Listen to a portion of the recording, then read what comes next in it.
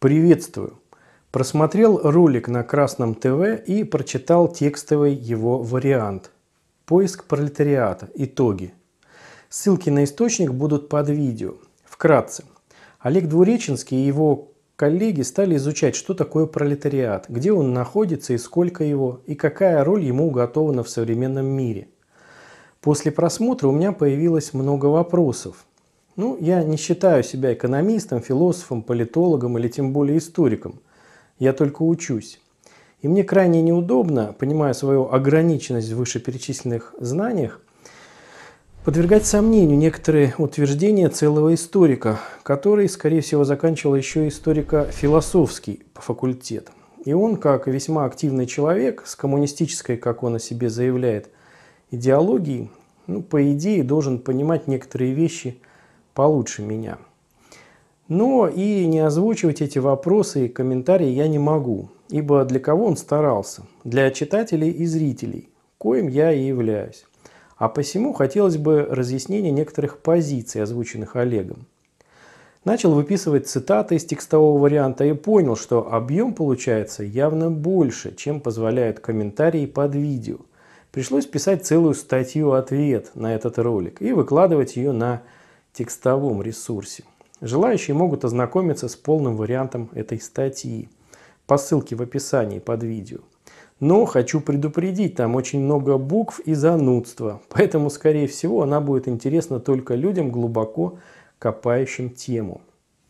А в этом ролике я разберу только несколько цитат, так сказать, для затравки, наиболее интересных с моей точки зрения. Итак, вначале Олег призывает не быть ортодоксальными догматиками и схоластиками, по теориям 200-летней давности. Речь идет о марксистско-ленинской теории. Но почему-то требует ни в коем случае не менять некоторых формул, данных в ранних работах Маркса и Энгельса, ибо это может привести к ошибкам. Далее он утверждает, что Ленин, именно проанализировав количество и качество стачечного движения, и выделил группу, которая являлась авангардом пролетариата – я так понял, речь идет о таком понятии, как диктатура пролетариата, которому Ленин дал определение. Проанализировал количество и качество стачного движения? Вы серьезно?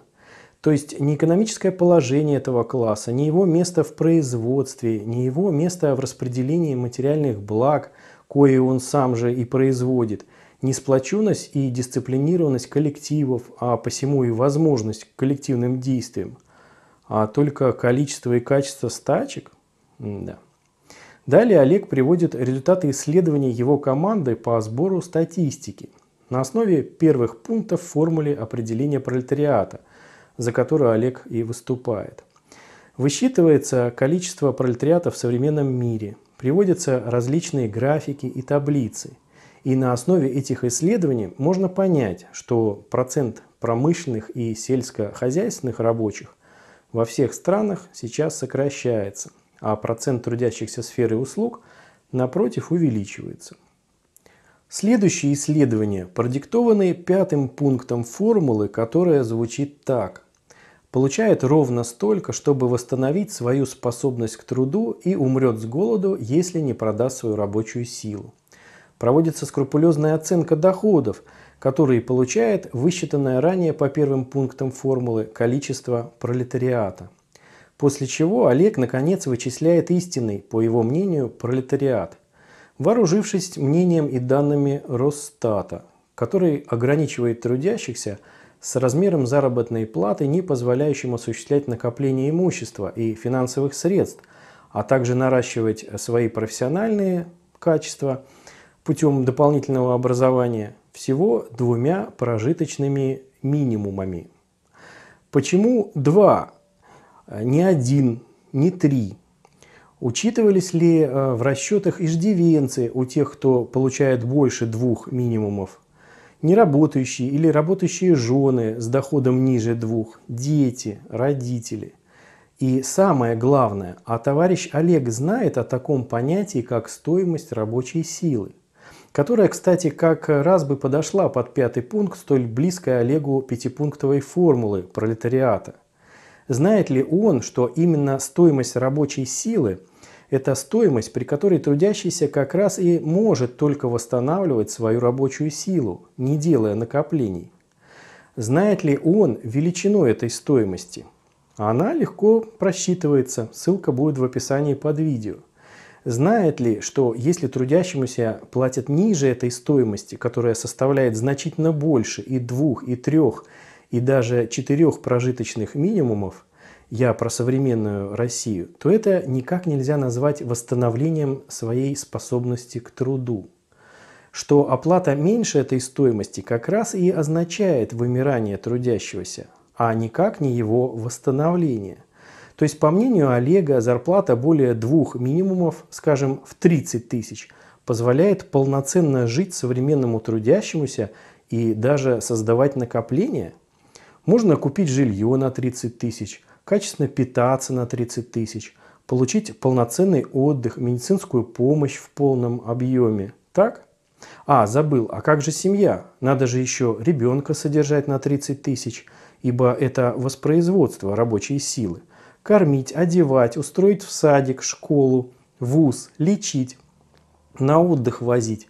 Да, это не пролетарий получается, а чуть ли не капиталист с зарплатой более двух минимумов еще и накопление, по мнению Росстата, может делать. А то, что при таких зарплатах люди вынуждены работать больше физиологической нормы, некачественно питаться, не иметь медицинской помощи в полном объеме, нормального отдыха для восстановления сил.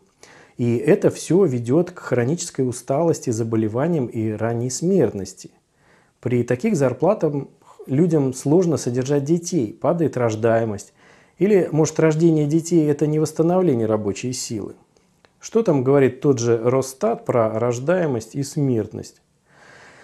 Это ли не вымирание трудящихся, которым э, даже не доплачивают до того самого пятого пункта, который почему-то ограничен товарищем Двуреченским двумя прожиточными минимумами?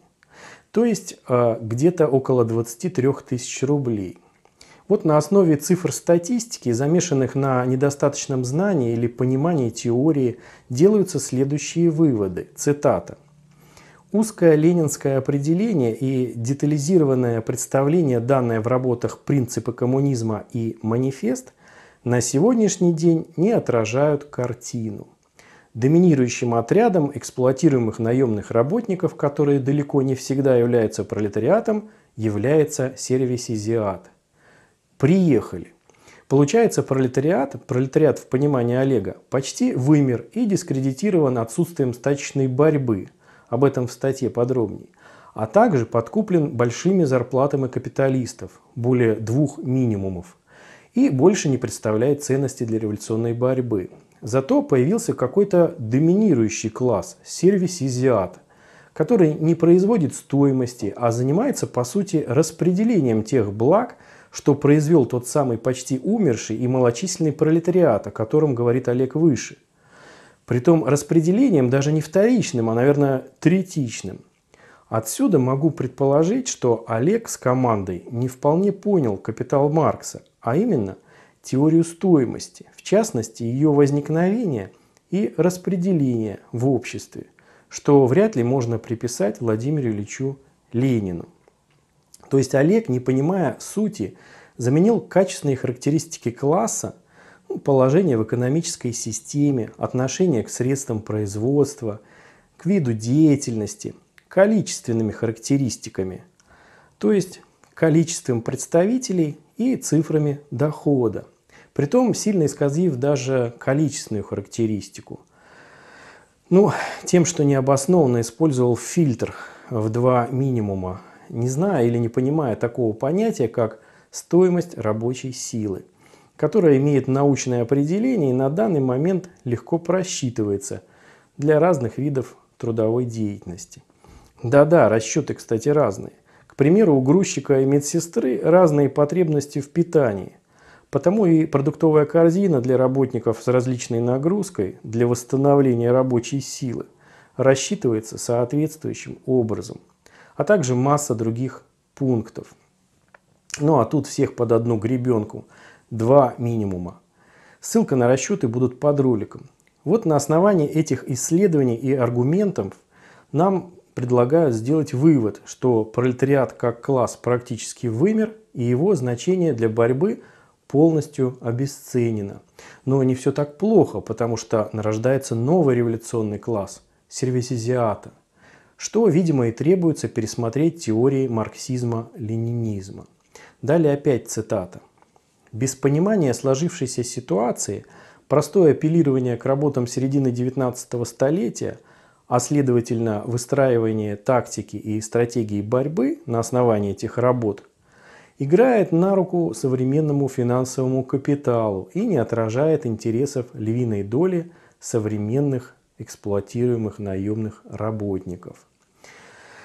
Ну, тут сомнительно, кто на чью руку в результате играет. Тот, кто просто апеллирует, или тот, кто в результате поверхностного изучения, как следствие непонимания теории, делает ошибочные выводы и несет их в массы. Счастливо!